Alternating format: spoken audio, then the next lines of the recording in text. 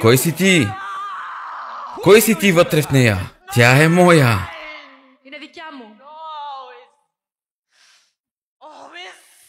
Кой си ти? Чувате ли змията? Кой си ти? Аз съм змия. От водата. Чувате ли какво казва? Змия от водата. Като змия, какво си направил в живота на тази жена? Унищожих нейната съдба. Съдбата й е чудесна. Как? Как, как? Чрез моето царство. Твоето царство? Къде е твоето царство? Във водата. Във водата. Аз живея там. Аз живея там. Значи там живееш. Да. Змията, която живее във водата, сега е влязла в човек. Нека всеки от нас да помисли какво означава това. Божието Слово, което четем в Деяния на апостолите, се потвърждава още веднъж. Когато апостол Павел отиде в Филипи, там дойде момиче, което имаше дух на питон. Тя ги последва и каза, слушайте ги, те са Божии хора. Те ви показват пътят на спасението, но в нея имаше демон. Докато апостол Павел не я освободи и влезе в затвора за това, вече се превърна в престъпление да освободиш някого, да го отделиш от нечист дух и да го оставиш свободен в името на Исус Христос. Затова влязоха в затвора, биха ги и ги хвърлиха в затвора. Тя много обича Бог. Тя го обича. Но трябваше да бъде моя. Моя! Разкажи ни за нещата, които си унищожил в живота и досега. Нейната отроба никога не трябваше да има деца. Унищожих матката й и все още я унищожавам. Унищожавам, защото ще роди много велико дете. И не го искам това. Кажи ни какво прави молитвата с вас, демоните. Мъчи ни. Унищожава. Унищожава ни. Колко от вас се молят всеки ден? Вдигнете ръка. Колко от вас се молят всеки ден срещу всеки дух, който действа във вашето семейство? Чувате ли какво казва? Молитвата казва, унищожава делата им. Това ги измъчва. Те не могат да работят. Тя постоянно се моли. Мразя я! Мразя я! Искам да я убия! Слушайте, според Йоан 10.10, крадецът идва да открадне, да убие и да унищожи. В момента чуваме признанията му. Жената не говори, говори духът, който е дошъл да я убие, да унищожи живота й. Опитвах се по всякакъв начин да я спра. Вижте, тя се моли, не че не се моли. Всеки ден се моли. Господи, помогни ми. Господи, освободи ме. Но Бог не я освободи. Тя трябваше да дойде от страната си тук, където е Божието помазание, което може да освободи и да скъса веригите. Виждате ли, има различни нива. Съществуват власти, княжества, владетели. Има дух, който е над семейството, дух, който е над селото, дух, който е над града, дух, който е над закона. Има друг демон, който е на земята и друг, който е на континента. Помислете, какви духове има. А тези от нас, които нямат ежедневен молитвен живот, сме на милостта на тези духове.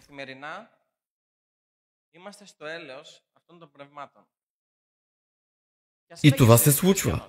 Въпреки, че се наричаш християнин и въпреки, че ходиш на църква всяка неделя. Както вие идвате всяка неделя и дяволът идва на църква всяка неделя. Както вдигате ръце и се покланяте, казвайки Алилуя, слава, слава, и дяволът вдига ръце и се покланя, казвайки Алилуя, слава, слава. Но не на Бог, но на себе си. И така, какво е това, което ще ни отдели от тъмнината?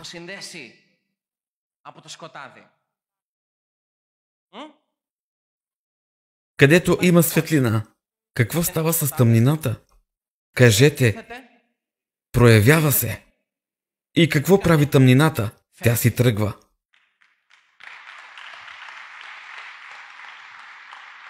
Как влезе в нея ти змия? Чрез нейната майка. Сега е моментът да си тръгнеш във всемогъщото име на Исус Христос, вън от нея.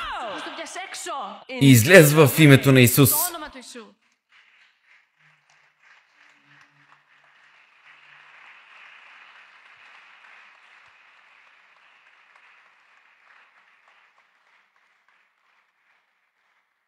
Благодаря ти, Господи Исусе. Отче, възстанови нейната отроба в името на Исус. Амин. Свободно си в името на Исус.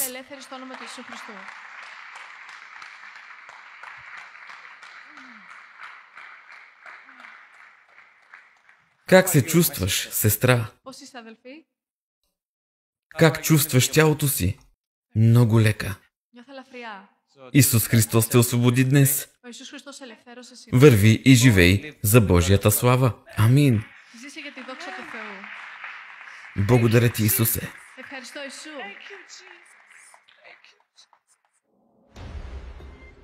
Час на потвърждение.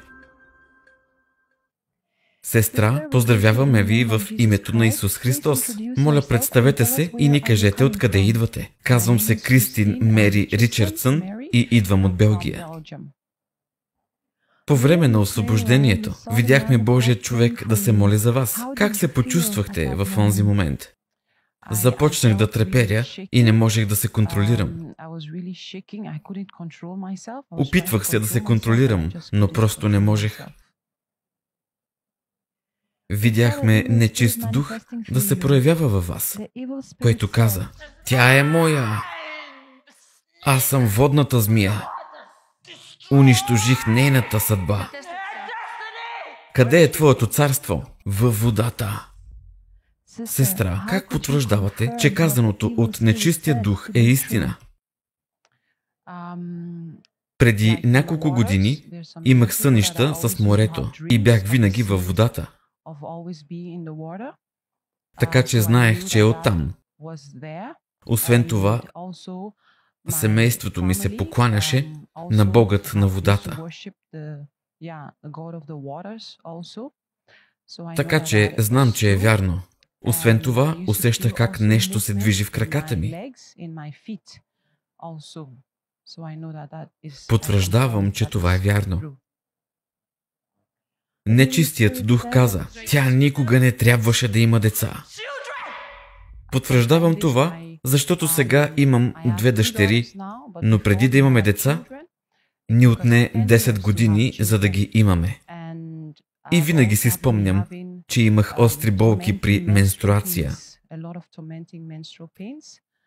С Божията благодат напоследък не е толкова болезнено. В началото имах болка в яйчниците. Не можех да легна, да седна, да стана, нито да правя нещо. Но дори когато цикълът ми свършваше, ме болеше. Сякаш щеше да започне отново. Нечистият дух каза, как влезе в нея, ти змия, чрез нейната майка? Какво ще кажете за майка си? За съжаление, нямаме връзката, както майка с дъщеря си, която би трябвало да имаме. Известно е, че ревнува бракът ми и не иска нищо добро за мен. Нито отношенията ми с дъщерите ми. Мрази и това. И е против. Не знам какво точно прави зад гърба ми, но виждам плодът на ревността.